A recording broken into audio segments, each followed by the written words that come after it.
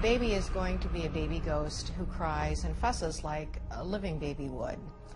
A child ghost is going to continue to act like a child, and adults also seem to stay frozen at the age in which they were when they died as well.